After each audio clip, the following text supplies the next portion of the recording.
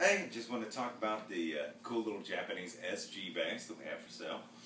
Um, as we talked about in the listing, it does have some wear, but it's all real nice, honest wear. Somebody's played this thing, they've loved it, and uh, it's very cool. It has a very awesome vintage vibe. Six bolt neck, maple neck, tuners. They hold rock solid. This thing is a rock and roll machine.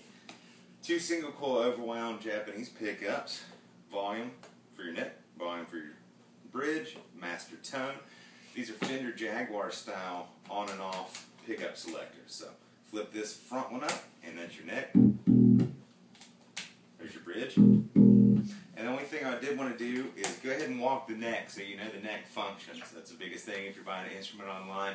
How's the neck? Is it going to play?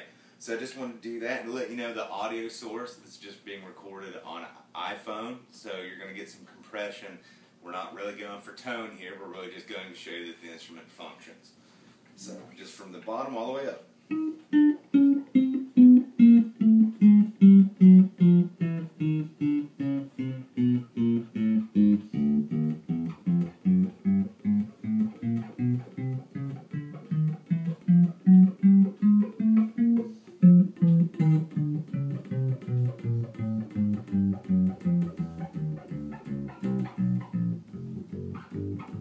The nice thing about this bass is it plays very nice and smooth and easy to handle.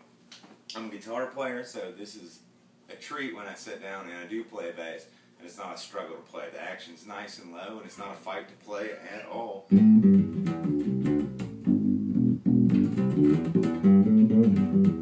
Like I said, we just have it through a real small little bass combo amp, just so you know everything's working. Volumes work fine, no scratchy pots, nothing funky with it.